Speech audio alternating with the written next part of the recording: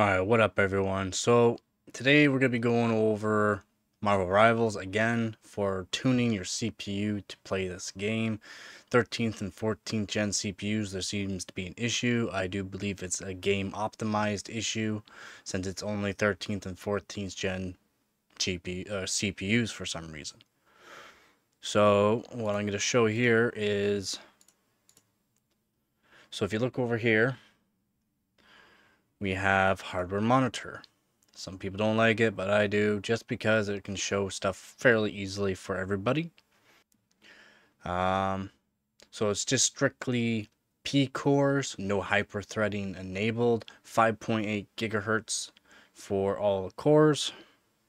So all core 5.8 gigahertz, which is pretty good overclock for the CPU.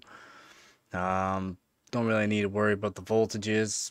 All depends on each CPU. So RAM is at 6800. Says these are 7200 C36 kits. They are. These are Corsair Dominator Titaniums, and they are 7200 megatransfers per second CL36. But I'm going through a bunch of different RAM settings and also core settings for your CPU to show exactly the performance you're going to get.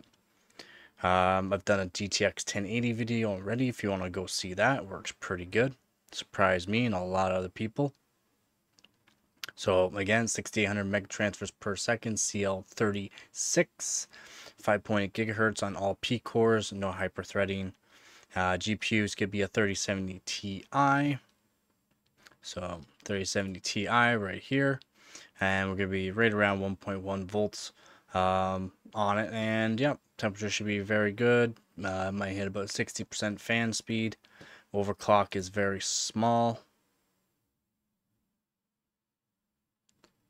Uh, so overclock right now on it is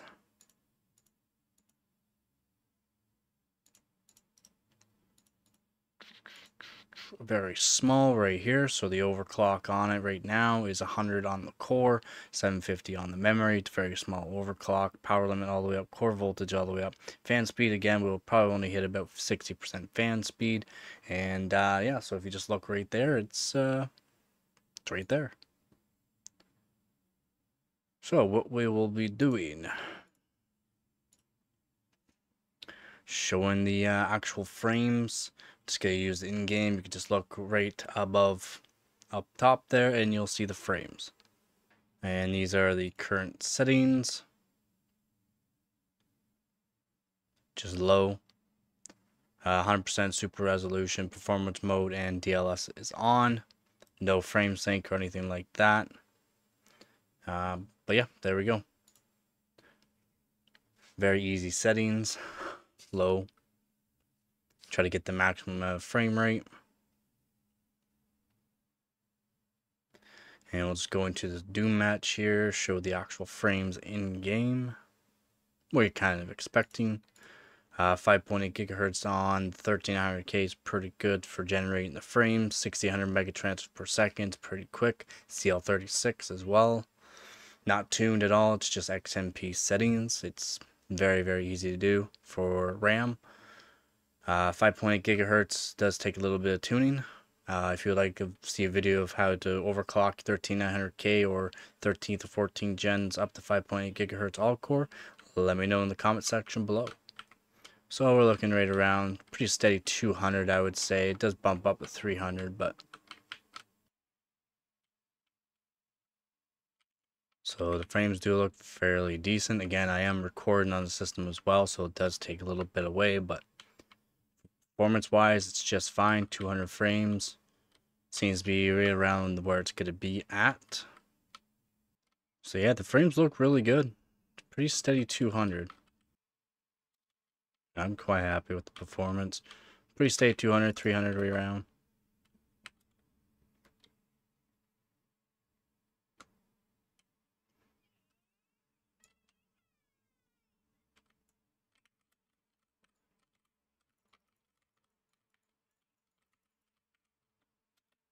So, seems to be good performance. 5.8 gigahertz. Generally, I'm playing this game at 5.6 gigahertz on all core, but 5.8 seems to be pretty good. 6800 megatransfer per second seems to be quite well as well. CL36.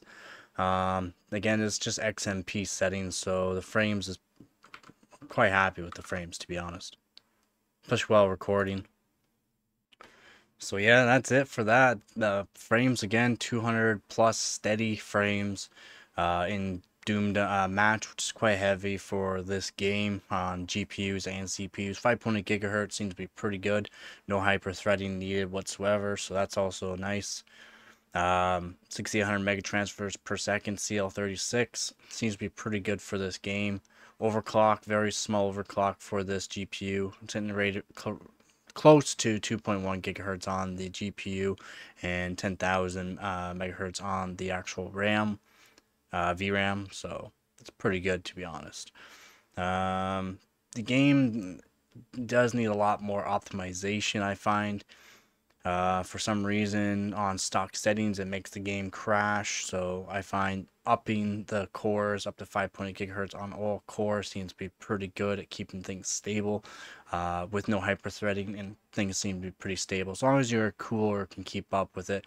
I am on a custom water loop, 360 mil, um, 360 mil custom water loop, uh, so it does work very well with a custom monoblock as well for the RAM, I'm going to be testing from 4800 mega transfers per second all the way up to 7600 or 7800 me mega transfers per second. Uh, right around CL36 for all of them. Um, gonna try that on uh, another video. Uh, it does take a long time to do those videos, so um, hopefully we'll be coming out with it maybe next week, maybe by the end of the week. We'll see. Uh, another video I will be doing is old CPU and GPU playing this game. So about a decade old GPU and CPU uh, playing this game. See if uh, you can get good frames or not. We're gonna see. So yeah, I was quite happy with the performance of 3070 Ti. Seemed to be pretty good. 5.8 gigahertz on the CPU seems to be working very well as well. Again, if you have issues with the 13th or 14th gen CPU, try disabling uh, hyperthreading and uh, or put it into game mode, which just puts it to the 8 performance cores or 6 performance cores, depending on what CPU you have, and just put it just to the strictly the performance cores, no hyperthreading, and hopefully that will solve your issue with crashing in this game. I find it works pretty good. I found upping the actual core frequency helps the mitigate some of the crashing, most of the crashing. So uh, hopefully this video was somewhat educational for you guys and uh, don't forget to like the video, subscribe for more, and as always, don't forget to get her done.